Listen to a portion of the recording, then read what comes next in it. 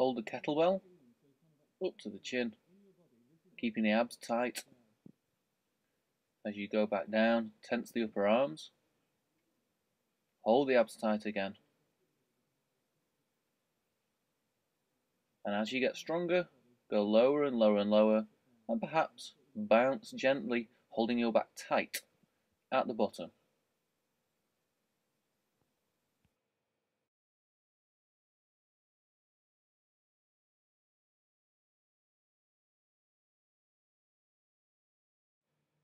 As you can see in this video, the hands drop down and he loses tension in his lower back. So we now aim to keep the hands higher, push them up, keep them up by the chin. And that keeps more tension in the abs and helps the hips drop lower and lower and lower. And that's your goal. Open those hips out more.